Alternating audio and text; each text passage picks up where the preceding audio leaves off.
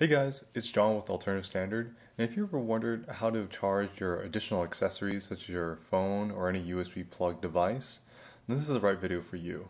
Basically, we're going to be looking at making our own USB plug that goes into our Zero motorcycle.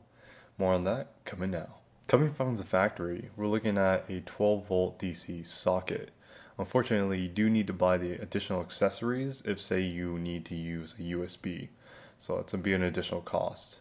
The overall cost for this is just $75. It's pretty expensive for just what you're asking for. Another alternative is that we purchase or build our own uh, USB plug. So this is more custom to our needs. The price of how we're going to be doing this is $65 or if you want to go just bare bones and you already have the tooling for it, you can look at just pricing yourself for $24, which is a substantial difference to 75 heat shrink, the wire crimpers for the connectors or pins, a SAE connector and 18 gauge, and lastly, the PET shielding for the wiring.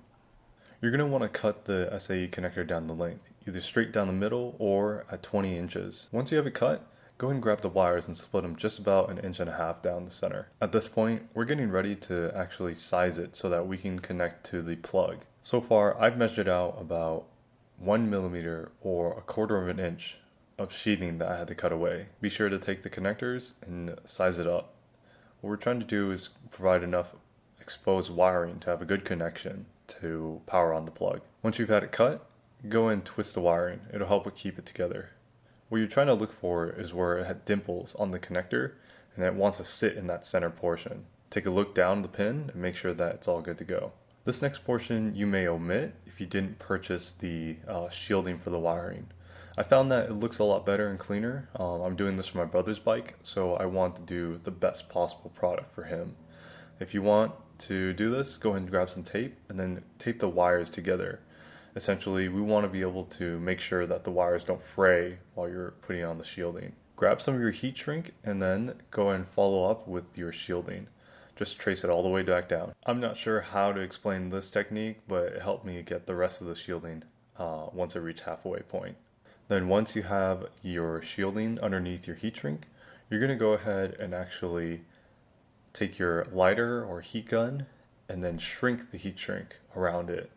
This will make it a very clean presentation. It's going to look really good. I mean, it might be worth just selling this product to some people if they don't have the tools available. Going back to the wiring, we're going to go ahead and actually trim some of the material back. I measured it out and I think it was about two inches from the wiring. So I want to make it much more cleaner and I also want to install my own heat shrink. Once you had the other end of the shielding trimmed back, go ahead and take your heat shrink and also apply the same thing. Like I said, this is much more of a cleaner presentation and you're going to have no questions in terms of the protection for the wiring itself. We're on to the last bit. When you get to the wiring, before you put in the connector or the pins, go ahead and grab either your crimping tool or your pliers. Either one will work. I recommend the crimping tools, however. Then take the wiring and the connectors and seat them in. You want them all the way flush, making contact with the metal inside the pins. Take your crimper and go and crimp down on those pins. Essentially, we want to make sure that there's a full contact around it and that it doesn't actually come loose. So I would recommend from the wiring and the pin to pull them back from each other to make sure they have good seating. And do so for the other one as well. One thing to note, red's the positive and black is the negative. If you have any questions on how to install this USB plug into your Zero motorcycle, check out this video. It'll be able to help you out. I hope this opens up options for you in terms of what you have available to you to install on your Zero motorcycle. In any case, I just want to make this an opportunity to share. If you have any questions or suggestions, leave it down in the comments below. I'm always trying to find ways to improve.